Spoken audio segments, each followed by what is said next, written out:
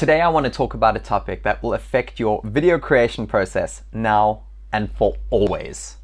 I'm talking about being in the right headspace.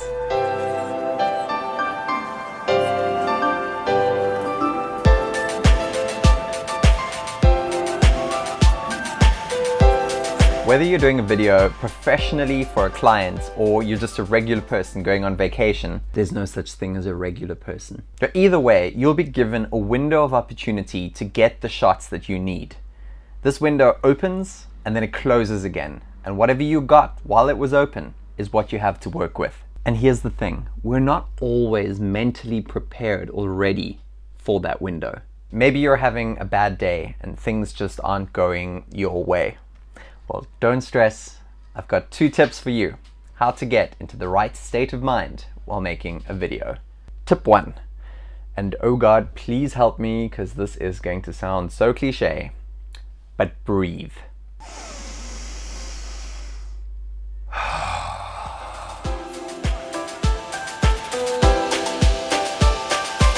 And I'm not just talking about the thing that we do to get air into our lungs. I'm also talking about taking the space and time that you need to focus.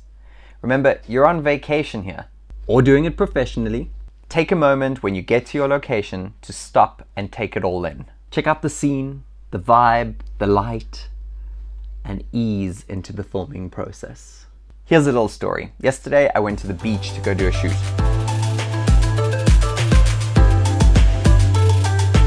When I got there, I took half an hour to just take in the location and the scenery. Did a little walk around, put my feet in the water, and got into the right mental state that I needed to do the shoot. Back in the day, I know what I would have done. I would have started filming the moment I got there. Then halfway through, I would have filmed the same scenes again when the light was better. And then right at the end, I would have shot it again just in case I didn't get it the first two times. Then you get home and you've got like 25 gigs of footage that you have to sift through, which is going to take you three days to edit. Been there, done that, got the t shirt, took the t shirt off.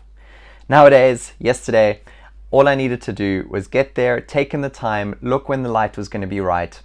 I came home with two and a half gigs.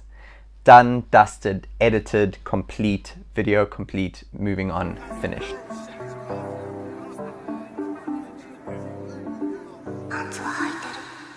With two and a half gigs, I could get it onto my computer and edit it down to the best moments the same day. So take the time, relax, breathe, and enjoy the process. Those few minutes you're going to lose at the beginning of your shoot will be the hours you save afterwards. Tip number two film it anyway. Even if you're not into it, you're not feeling the vibe, just get the camera out and film anyway. We can't be in the mood to do everything all the time. Here's a little story from the other day again. So I did this video on how to film an activity adventure. And believe you me, I was not in the vibe. I hadn't gone out, I hadn't done the activity, the adventure yet. I was sitting here in the space, anxious to get out there and do something exciting. And it was like, when it comes to the technical side of filming adventures, you're going to need to focus on two things, and that is your seriously, I just wasn't feeling into it at the moment, but I did it anyway because I knew what I needed to say. I got the video out, it's uploaded, it's online, and I can move forward. We can't always produce the best work all the time, but that video was still very informative. It gives people the information they need, and that was ultimately all that mattered for me. Could it have been better? Probably. But at that time, I needed to get something out. I had a job to do and I did it. And I can now move on and get to the next thing. Because, oh God, this is going to sound cliche again.